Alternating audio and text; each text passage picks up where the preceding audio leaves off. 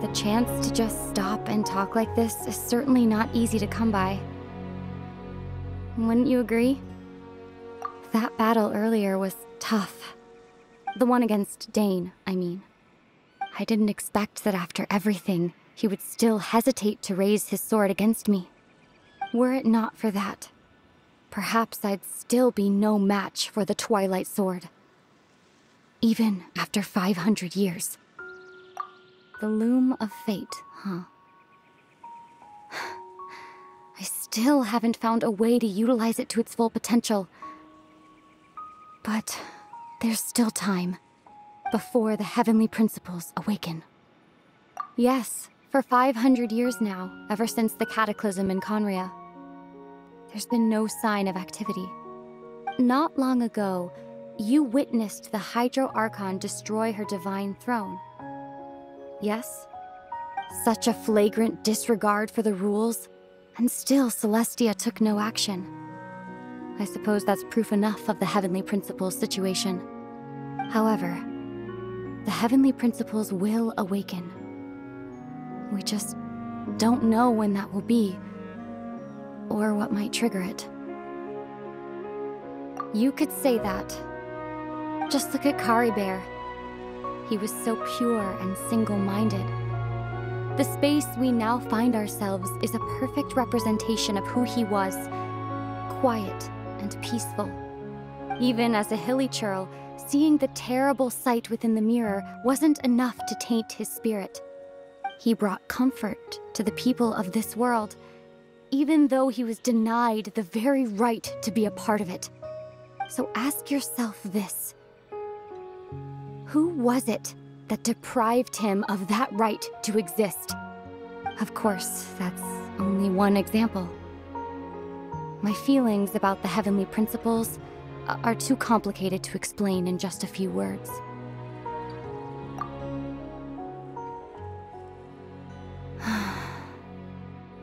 Aether?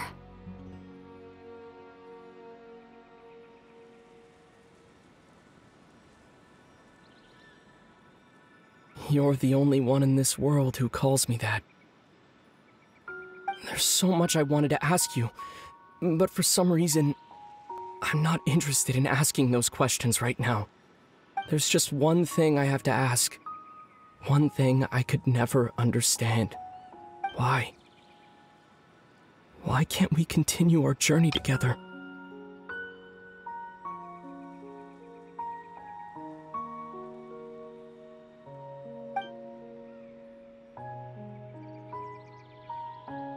Hmm. At the end of my journey, I arrived at a place known as the Sea of Flowers at the end. Do you remember?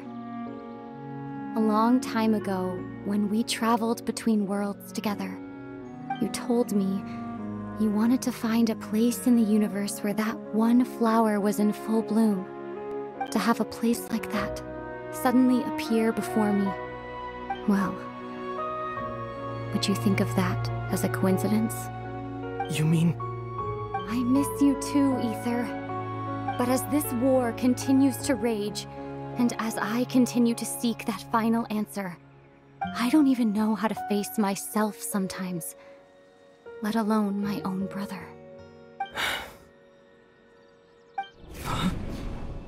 What's going on? This space has lost its tether. I doubt it'll be able to exist much longer. In fact, aside from our inability to physically interact with each other, there's something else you should know about this space. With Caribert gone, we won't be able to remember anything that happened here. Everything in this space will be wiped from existence, including all memory of our reunion. You're only telling me this now?